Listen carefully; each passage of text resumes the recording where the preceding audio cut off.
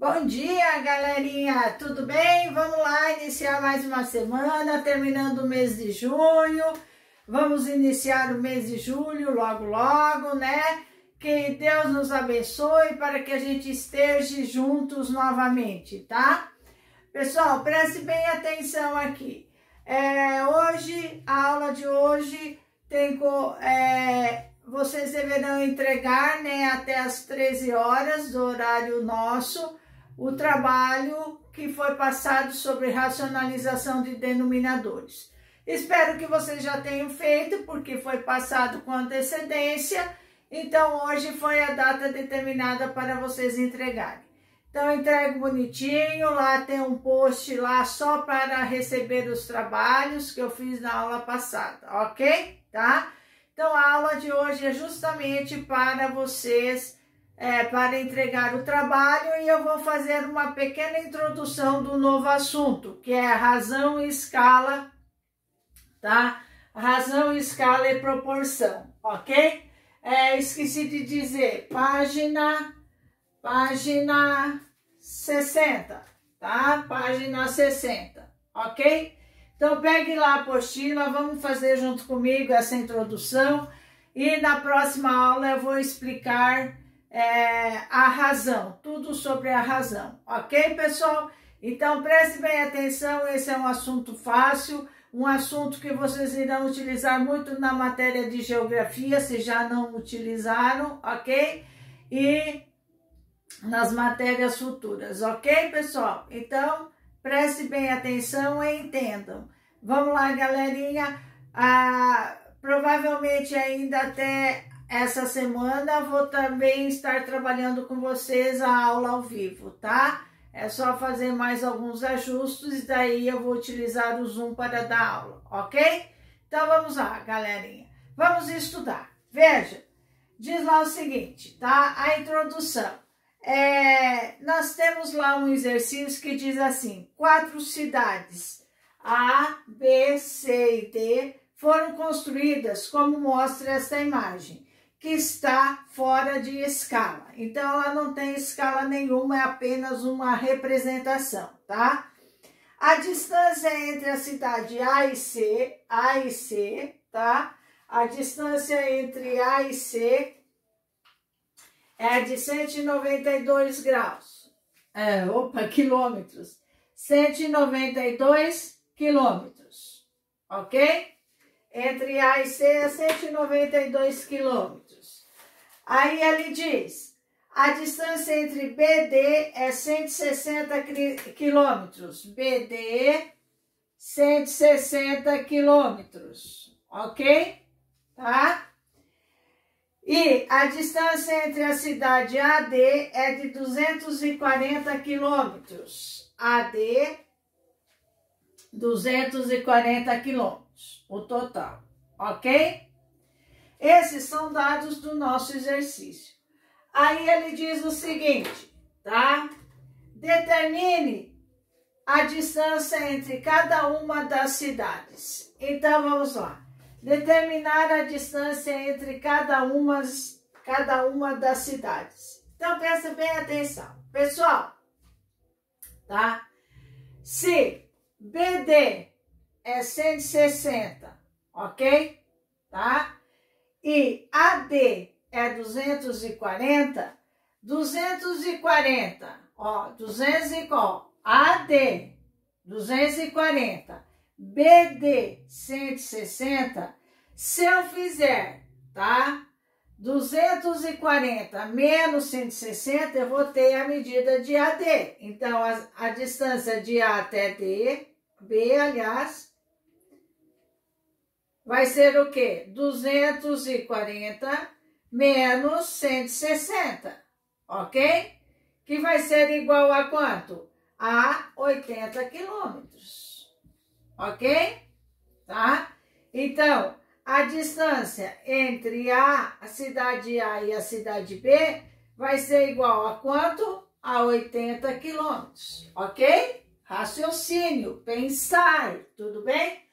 Agora, se aqui, ó, tá? Se aqui é 192, ok? Aí eu tenho que 192 menos 80 vai dar quanto? 112. Essa distância aqui, ó. 112 quilômetros. Concordo? Tá? Então, BC, BC vai ser igual ao quê? 192 menos 80, que vai ser igual a 112 quilômetros. Concordo? Agora, 160, tá? 160 menos 112, ó, 160 é tudo isso, menos 112 vai dar CD. CD vai ser igual 160 menos 112 é igual a 48 quilômetros. Então, a distância de CD vai ser igual a quê? 160 menos 112, que é igual a quanto? 48 quilômetros. Somando, somando 192 mais 48 vai ter que dar 240. Ok? Entendido isso daí? Então, esse é um exercício só de pensar, tá, pessoal? Analisar, pensar. Tudo bem até aí? Belezinha? Ok? Vamos adiante, então. O segundo, tá? O segundo, esse aqui já posso apagar, né?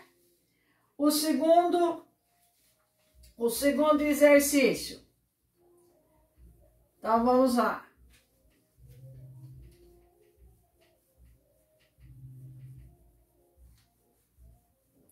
Então, pessoal, preste bem essa atenção nesses exercícios. Hoje apenas vou introduzir, quinta-feira quem sabe já vamos dar uma aula no Zoom, né? E aí eu vou entrar na razão, tá? Certo? Vamos lá. É, o 2. O 2, preste bem atenção que ele é um pouquinho mais complicadinho. Veja, quatro cidades, M, N, O, P. Então, vou colocar aqui M, tá? N, N, o, O e P. Ok? Aí ele diz o seguinte, preste bem atenção aqui, tá? Ele diz lá, é, as distâncias entre as cidades NP é o dobro da distância entre as cidades MN.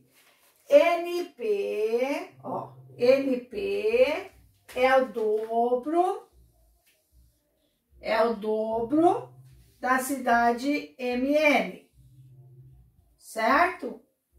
Tá? Então, aqui é MN. Aqui é 2MN, que é o dobro de MN, ok? Ó.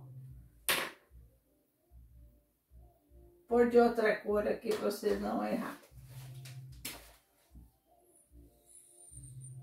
MN, certo? Tá?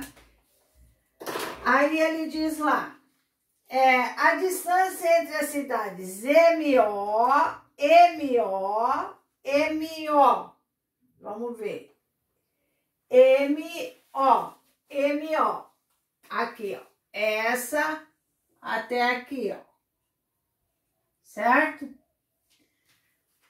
A distância de MO é o quádruplo da distância OP. O quádruplo de OP. Então, OP, aqui MO é o quádruplo de OP. Tá aqui. Certo? É, sabendo disso, determine a distância em cada uma das cidades. Então, vamos lá. É, aqui é um pouquinho mais complicadinho, mas não é o bicho. Ele deu que é a distância entre NO, essa distância aqui, vale 140 quilômetros. Ok? Então, vamos lá. Pessoal, veja eu fiz o seguinte, presta bem atenção, tá? Ó, 140, ó, cento, ó, esse pedaço aqui, mais esse pedaço aqui, ó, P, ó, 140, vou até puxar aqui para baixo, ó, mais OP é igual a quanto? 2 ml. Então, veja, ó, 140 mais OP é igual a 2 ml. Tá aqui, certo? Tá? Aí eu isolei o OP. Veja, OP vai ser igual a 2 ml menos 140, certo? 2 ml menos 140, correto? Ok? Deixa quieto aí. Aí eu vim aqui, preste bem atenção, ó. MN, tá? Ó, MN, ó, preste bem atenção. MN, ó, MN mais 140 é igual a 4 OP, certo? Então, ó, M, N mais 140 é igual a 4OP, correto? Tá? OP aqui, OP vai ser igual a MN mais 140 dividido por 4. OP e OP é a mesma distância, não é? OP, ó, OP é a mesma distância, distâncias iguais. Então, o que que eu tenho? Que 2mn menos 140 é igual a quanto? mn mais 140 dividido por 4. Ó, essa distância aqui e essa é a mesma, não é? Ó? Essa e essa. Não dá para deixar esses... Essa aqui, ó. Essa distância é a mesma. Então, eu tenho que 2mn menos 140 é igual a mn mais 140 dividido por 4, ok? 4 tá o quê? Dividindo. Ele vem para cá o quê? multiplicando. Então, 4 que multiplica 2mn menos 140, tá? Igual a mn mais 140, tá aqui. Propriedade distributiva. 8mn menos 560 igual a mn mais 140. 8 mn menos mn é igual a 140 mais 560. 7 mn é igual a quanto? A 700. MN é igual a 700 dividido por 7, 100. 100 o quê? Quilômetros. Já descobri. Essa medida aqui vale quanto? 100. Ó. 100 quilômetros. Certo? Se essa medida vale 100 quilômetros, ó, MN vale quanto? 100 ok? Tá? O que que eu tenho? 100, tá? Duas vezes 100, 200. 200 menos 140, OP vai valer quanto? 60. Repetindo. 60 quilômetros. Por quê? Ó, 2 vezes 100, 200, menos 140, 60. Pronto, está respondido. ML, 100, OP, 60 quilômetros, ok? Aqui tá fraquinho, né? Vou pôr em vermelho. ML, 100 quilômetros, tá? E OP, 60 quilômetros. Belezinha? Entendido isso daí? Então, para vocês verem que aqui se trabalha muito agora com uma certa lógica, tá? Aí, na página, na página 61, nós temos lá três questionamentos, a questão 3. Vamos lá fazer. É relação ao exercício 1 e ao exercício 2. Vocês vão ver qual será o nosso próximo conteúdo através desta, destas situações, problemas que nós temos aqui, ok? Tá? Então vejam lá, vamos lá. Ele diz lá, na questão 3, tá? Letra A, 3, letra A. Ele diz lá o seguinte: calcule o quociente, grife lá. O que, que é quociente? É divisão, ok? Entre as distâncias da cidade CD, CD, tá? É, divisão, CD dividido por AB. Quociente entre a cidade CD e AB, ok? Então vamos lá, uma divisão entre a cidade CD e AB. Quanto que é a cidade CD? Lá no primeiro exercício, CD nós encontramos quanto? 48 quilômetros. AB nós encontramos quanto? 80 quilômetros, ok? Unidades iguais, sempre as unidades têm que ser iguais. Se elas forem diferentes, você tem que transformar, ok? A distância, que grandeza que nós temos aqui? Distância, tá? Distância. É, unidades iguais. 48 não é divisível por 80. Você não divide, você só simplifica. Posso simplificar por quanto? Por 8, né? Simplificando por 8 dá 6 e 10. Dá para simplificar novamente por 2. Vai dar 3 e 5. Pronto, acabou aí. O que quer dizer? O que eu acabei de encontrar é uma fração. E o que, que significa uma fração? Uma divisão. E isso, para nós, a partir de agora, é uma razão, ok? Então, razão significa divisão, tá? De grandezas na mesma unidade tá? De medida. Então, vamos lá, pessoal. Esse é o nosso próximo conteúdo, tá?